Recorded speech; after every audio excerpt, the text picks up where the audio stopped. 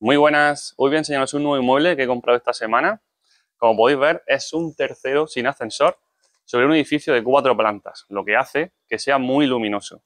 Vamos a pasar el portal, explicar unas características que quiero que, veáis a la hora de adquirir un inmueble o cuando vayáis a ver posibles inmuebles que os interesen. Pero antes de empezar, quiero hablar y dar un consejo ¿Qué es lo que hago yo justo cuando compro una vivienda? Lo primero que yo hago cuando compro un inmueble es llamar a mi asesor energético. ¿Por qué? Él puede contratar en cualquier compañía eléctrica, me va a hacer un asesoramiento sobre cuál es la mejor tarifa que me interesa en este momento y lo mejor de todo, este inmueble es de un fondo de inversión, lo que la luz y el agua no están dados de alta. Él lo da de alta por mí y hace toda esta gestión. También agiliza para que los pasos sean lo más rápidos posible.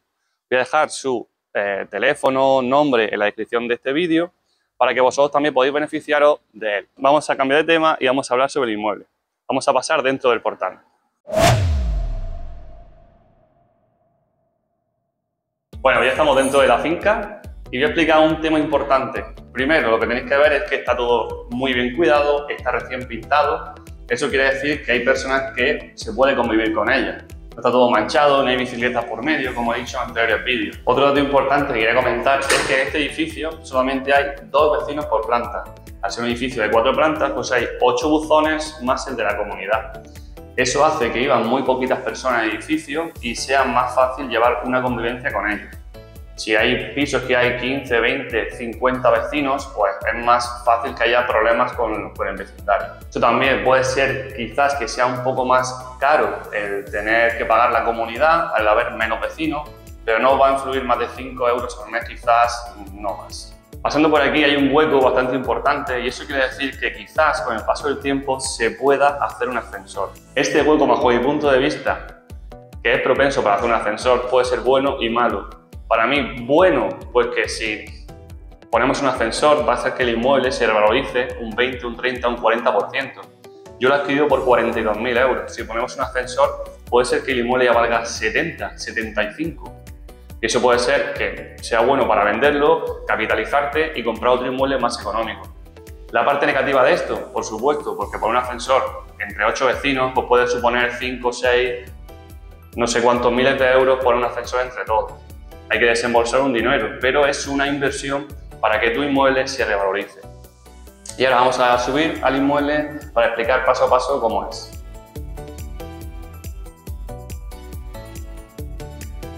Bueno, pues ya hemos hecho el esfuerzo de subir tres plantas sin ascensor, así que bueno, aquí le faltan las tapajuntas porque tiene una puerta antiocupa. Se la hemos quitado, hemos puesto esta, que es la que tenía dentro del inmueble, y ahora dentro del inmueble también tenemos los tapajuntas que le quitaron, ¿vale? Así que luego se lo pondremos más adelante. Ya estamos en el inmueble.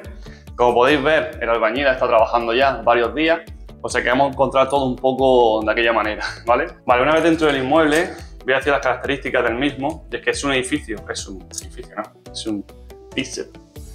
Una vez dentro del inmueble, voy a decir la composición del mismo y trata de tres dormitorios, un cuarto de baño, cocina y salón. Todos ellos tienen ventanas al exterior y vamos a pasar a ver el inmueble poco a poco. Aún no tenemos luz, así que bueno, voy a sacar un poco la linterna del móvil para que podáis ver el cuarto de baño que no tiene suficiente luz, ¿vale? Así que por aquí. Este es el cuarto de baño y tengo que decir que casi todas las losas están huecas, están a punto de caerse y algunas ya se han caído. Entonces, como es un poco antiguo el cuarto de baño, tiene también bañera, tiene el váter también está bastante fatal, está muy ruinoso, está para cambiarlo, el mueble también está muy viejo. Hemos decidido hacer un cambio completo al cuarto de baño ya. Ya que nos metemos, pues lo vamos a hacer entero. Cambio de losas, mampara, eh, mueble, espejo, todo en general, ¿vale? Y vamos a pasar a ver los cuartos por aquí. El cuarto principal, cuarto, el dormitorio principal, Vamos a intentar conservar en el mueble todo lo máximo que podamos utilizar, como el ventilador, comprobaremos que estén bien una vez que tengamos la electricidad. Y veis por ahí que tenemos un montón de material ya para empezar pues tanto a pintar y como a mejorar todo aquello que hemos visto que está defectuoso. Todas las ventanas del inmueble han sido cambiadas alrededor de hace 20 años aproximadamente, ya que son de aluminio blanco, ¿vale? No son un pocilo batientes, pero bueno, son aluminio blanco que, que dan una impresión bastante buena y evidentemente se van a quedar como están, ya que están en muy buen estado.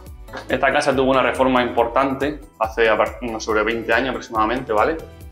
Las que si estuviera de origen tendría solamente un maneto térmico o quizá dos, ¿vale? y este como podéis ver, pues bueno, tiene por lo menos secciones por todas las habitaciones. No es solamente de origen, sino que está diferenciado por las habitaciones del inmueble. Vamos a pasar a la cocina ahora, que está un poco de aquella manera, está un poco desordenada porque hemos estado viendo qué le hace falta. Y por aquí, todo el mobiliario está bastante bien. El inmueble lleva, lleva sin uso, lleva vacío como 4 o 5 años, o sea que está muy sucio. Pero bueno, por todo lo demás, bueno, quizás cambiemos el grifo, tenemos que saber si funciona el frigo, por ejemplo, y bueno, pero todo necesita una buena limpieza, nada más. Hemos visto también que se han caído unas cuantas losas en la cocina, vamos a sanear todas las que se puedan, pero en general está todo bastante bien, ¿vale? Vamos a cambiar vitrocerámica, horno, vamos a comprobar que el termo funcione una vez que tengamos electricidad, si es necesario cambiarlo, evidentemente, pues se va a cambiar. Y nada, todo genial por aquí. Tiene bastantes mosquiteras también la casa, que algunas se pueden aprovechar, otras no. Y vamos a ver el salón que está por aquí. Aquí podéis ver también la, la puerta antiocupas que hemos retirado. Así que venís por aquí y vamos a ver el salón. Vale, pues aquí tenemos el salón. No he comentado que todas las puertas, bueno, también sufrieron también un cambio, no son de origen, están bastante bien. He comprado pomos para todas ellas, también dorados, para darle un aspecto más rejuvenecido y que no se vea esto tan pues tan viejo, ¿no? De tanto uso que ha tenido ya. Pero en general la puerta está bastante bien, ¿vale? Evidentemente, pues solo tiene muchísima suciedad, como podéis ver, debe estar, debe estar varios años cerrado. El salón tiene aproximadamente unos 15-20 metros, tiene toma de antena a ambos lados, lo que puedes jugar con ello y puedes poner el sofá donde quieras, sofá en un lado o al otro o el mueble con la televisión. La idea es poner por aquí una mesa no muy grande para cuatro o cinco personas, sea lo idóneo. Aquí que tiene bastante luz de la ventana directamente y a un lado al otro sofá y mueble con televisión. También tiene aquí eh, un ventilador de techo y vamos a ver si funciona igual que el otro cuando venga electricidad. Vamos a pasar a los dos últimos cuartos, dos dormitorios más que tiene por aquí. Aquí tenemos un dormitorio pequeño que bueno, para un niño no hay ningún problema, medirá sobre 8 metros cuadrados aproximadamente. Lo único defecto que le veo es que da la ventana directamente a la cocina para poder ganar luminosidad y que no se vea totalmente oscuro. Pero bueno, es bastante funcional y está bastante bien, no hay ningún problema. Este sería el último cuarto, el último dormitorio, que ya hemos estado, como habéis visto, por todas las paredes están llenas de, de tapas porque hay un montón, porque hay lleno de masillas, porque hay un montón de, bueno, hay un montón de, cuadros puestos y hemos retirado todo. Este cuarto también tiene aproximadamente unos 9 o 10 metros cuadrados y tiene una gran luminosidad, que como he comentado antes, es un edificio, es un piso que está en la tercera planta sobre cuatro y entra muchísima luz durante todo el día. Dale like, suscríbete y activa campanita que a ti no te cuesta nada y ahí me ayudarás un montón. En estos huecos de aquí saqué de rodapié en algunos sitios ¿vale? Eh, tenemos trozos de rodapié que podemos aprovechar para que se puedan poner y sustituir, pero en algunos tramos nos va a faltar rodapié. Entonces mi idea es ir con un rodapié a la tienda y comprar lo, más, lo que más se asemeje, para que, pues bueno, evidentemente todo el rodapié no vamos a cambiar. Intentaremos disimularlo de la mejor manera posible, pero para un piso de alquiler, pues es perfecto. No vamos a, no vamos a invertir más capital que, por cambiar todo de rodapié, evidentemente. En otros vídeos anteriores, como he comentado cómo adquirir un inmueble de banco, aquí tienen la opción. Esto salía en la foto reflejado y así es como vine yo sabiendo ya que era un fondo de inversión. ¿De acuerdo? Esto ya se lo hemos quitado porque hemos desconectado la alarma esta, que no tiene nada que ver con nosotros. Y si quieres adquirir una nueva, una nueva alarma, pues tienes que contratar otra diferente de una empresa. Esta no nos vale a nosotros ya que no es a nuestro nombre. Vale, cuando vine a ver el inmueble la primera vez me di cuenta que tenía por aquí algunos, que había tenido anteriormente, algunos derrames de agua, ¿vale?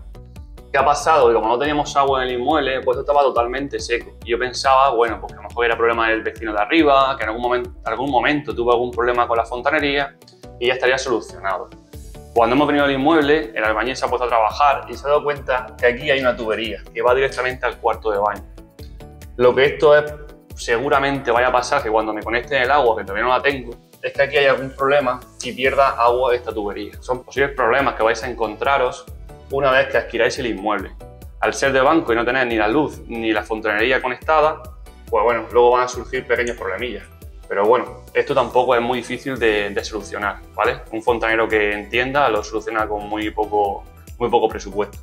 Lo único que la pared sí ha sufrido bastante, ya que hemos perdido toda la gota de aquí, de este tramo, y bueno, para dejarlo un poco decente, vamos a utilizar una gota en spray que simula bastante la que ya tenemos. Es un pequeño parche, por así decirlo, pero bueno, al tratarse de un inmueble para alquilarlo por tradicional, pues tampoco la gente va a ser tan tiquismiqui como si fuera una reforma para vender, ¿vale? Como he comentado, son posibles contratiempos que van a surgir, pero el que, el que invierte ya sabe a qué se enfrenta. Aquí tiene el que he comentado antes, que es lo que voy a una tienda, por tanto el Link, Rico de Pop, Ecomar, etcétera, para intentar comprar algo que se le asemeje bastante, ¿vale? Luego otro tema que quería comentar también, que como habéis visto, la, vivienda no tiene ningún punto ciego, no tiene ninguna habitación que no tenga ventanas, incluso el, el, cuarto de baño, como he comentado, tiene una pequeña salida de aire también. Este inmueble va a ser la primera vez que mujer lo amueble y lo decore. Vamos a hacer luego un vídeo cuando terminemos de amueblarlo, reformarlo, aquellas cositas que hemos comentado, como el cuarto de baño, que es lo más, es lo más importante, pintarlo, sanearlo un poco, tapar un poco los agujeros que tenía y principalmente el cuarto de baño. Ella se va a encargar de hacer todo el tema de un home staging y vamos a hacer un vídeo cuando esté todo listo para que veáis la diferencia entre otros, entre otros inmuebles que he decorado yo y lo que va a hacer ella. Ahora vamos a pasar al Excel para que veamos los números, cuánto me ha costado el inmueble, qué gastos he tenido, qué gastos espero obtener con esta reforma y la financiación que me han dado en el banco. Tengo que decir que ha sido con un 375 porque muchos de vosotros decís que es imposible o es muy difícil eh, obtener buenas rentabilidades ahora tal y como está el Uribe. Así que vamos a pasar ahora al Excel para que veáis realmente los beneficios o la rentabilidad que voy a tener con este inmueble. Bien, pues ya estamos en el Excel del, del piso que hemos estado viendo ahora mismo. Vamos a ver el coste del inmueble, rentabilidades y todo el dinero que tengo que poner yo de mi bolsillo. Así que bueno, estando en Andalucía hay que pagar un 8% sobre los 42.000 euros que me ha costado Impuestos de ITP serían 3.360 euros. Gastos en notaría, registro y gestoría son aproximadamente 1.500, que es lo que me ha dicho el banco a pedir hipoteca. ¿vale? Luego eso se hace un sobrecoste y luego cuando realmente tenga una facturación eh, me devuelve la diferencia. ¿vale? Vale, gasto de hipoteca no ha tenido ningún gasto de apertura, Coste de reforma estimado van a ser unos 3.000 euros, que luego ya diré cuando reformamos todo el piso. Volveremos a ver estos números reales. Mobiliario y decoración, también he puesto alrededor de 3.000 euros. Total serían 52.860 euros lo que costaría todo el inmueble con la reforma que quiero hacer, lavado de cara y todo el mobiliario para, disponible para alquiler. Vale, aquí vemos los gastos asociados al inmueble, IBIS, basura, seguro de hogar, comunidad de propietarios y mantenimiento y he puesto en periodo vacío media mensualidad, ¿vale? Que serían sobre 500 euros los 250, que aproximadamente, pues bueno, últimamente apenas hay periodos vacíos, pero he querido tenerlo en cuenta por si también puede surgir, ¿por qué no? Aquí tenemos una gráfica referente a estos, a estos números de aquí y continuamos. Este sería el gasto total anual que se estima del piso. Como he dicho, una mensualidad alrededor de 500 euros. Eh, la persona que me lleva los inmuebles me ha dicho que puede ser superior, pero bueno, no he querido poner en el mejor del escenario y he puesto una zona media. ¿vale? Al año sean 6.000 euros, eh, revalorización del inmueble en España suele ser por encima del 2%, la revalorización anual. Y aquí los números de la financiación bancaria. 70% de los 42.000 son algo más de 29, pero bueno, en esta ocasión solo he pedido 29.000 euros para hacerlo redondo y más sencillo. El capital que yo he tenido que poner son 23.860 euros, plazo a 30 años y un interés del 3,75%. La cuota sería 134 euros, vale. Por ejemplo, tengo otras hipotecas al 1,25%. Si vamos a poner el diferencial aquí para que veáis cuánto sería la cuota diferente. A 1,25 sería alrededor de unos 37 euros aproximadamente, ¿vale? Tomamos 3,75 para que veáis que tampoco es tanta diferencial. En cuotas muy pequeñas, hipotecas muy pequeñas, como es este caso, son entre 30 y 40 euros, un 3% de diferencia de, la cuota de hipoteca, así que tampoco estamos hablando de un importe tan grande. la gente lo pasa que se asusta muchísimo con este 3%, pero realmente no, no supone tanta diferencia. Rentabilidades. Rentabilidad bruta, un 11,35, pero como tiene muchos gastos asignados, pues como la hipoteca y demás que hemos estado viendo, se quedarían un 7,24 rentabilidad neta, ¿vale? Súper interesante me parece este 2,76 euros de, de cash flow mensual, ya que de 500 me sobraría más de la mitad de la renta que voy a tener todos los meses. Para que lo tenemos que sea un 55,14% de la cuota que me pagarían los inquilinos. Súper interesante el roce sobre el, el capital que yo aporto, ¿vale? Sería un 17,84%. ¿Cómo se calcula el roce? Muy sencillo. Sería eh, por 12, que sería mensual, eh, anual, perdón. Sería sumando la amortización del, préstamo más el cash flow que me queda partido el capital que yo he aportado, ¿vale? Ese sería el roce, cómo se calcula mm, anualmente. Aquí tenemos, por ejemplo, también el tanto por ciento que me cuesta la hipoteca sobre el alquiler, ¿vale? Solamente me cuesta un 26,86%. Eh, lo veo bastante razonable, bastante ridículo bajo mi punto de vista, ya que no estamos pagando una mensualidad de 250 o 300 euros sobre los 500 de la cuota mensual que me pagaría el inquilino. ¿Vale?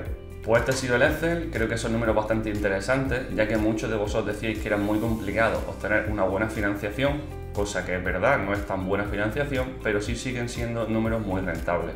Y como reflexión final quiero aportar que soy un afortunado de vivir en la zona donde vivo, ya que Almería, al ser una ciudad que está muy apartada de las demás zonas de España o de las demás provincias de España, eh, conseguimos que no haya tantos inversores interesados en, los inmuebles que hay en esta zona.